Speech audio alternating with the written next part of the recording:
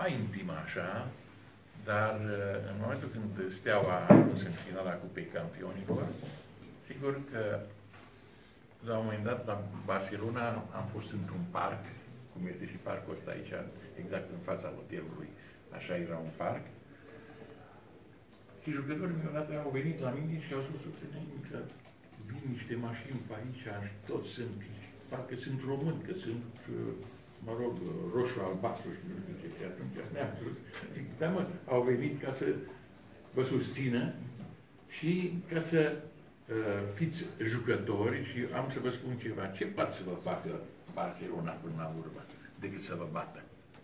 Și atunci eu v-aș ruga ca să jucați și să arătați că și voi sunteți fotbaliști.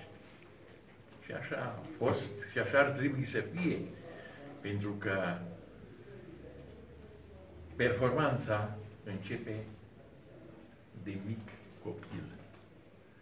Și trebuie să crești și ei care îl cresc pe acest jucător trebuie să aibă uh, niște metode chiar cum sunt părinții trebuie să aibă metode ca să-i crească pe acești jucători și atunci sunt sigur că fotbalul românesc o să fie uh,